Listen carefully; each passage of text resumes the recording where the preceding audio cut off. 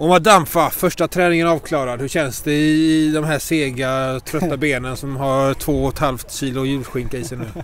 Nej, det känns bra. Det känns bra. Vi har haft ett komma igång-pass och det känns bra. Mm. Den, eh, har det hänt mycket i truppen till det här året? Uh, en del har hänt men uh, ni får läsa det i Kristianstadsbladet lite här och där. Jag inte avslöja för mycket. Mladen kanske blir arg på mig. Ja, eh, vi får ringa Lola annars får ja. hon göra artiklar. Ni saknar henne hörde jag. Hon är vår favorit, det är det. Ja. Vi saknar henne här. Ja. Tuff press på mig här nu då. uh,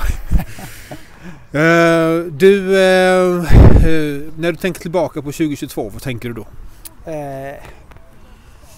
en bra inledning på säsongen och sen eh, tappar vi onödiga poäng som gör så att vi hamnar åtta tyvärr.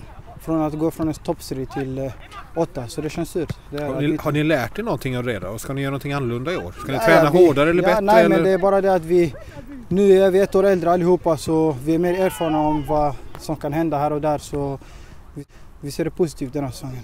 Mm. Och det är just det som är det intressanta med Kristianstad kanske. Det är ganska få förändringar. I många lag så har det varit stora förändringar. Mm.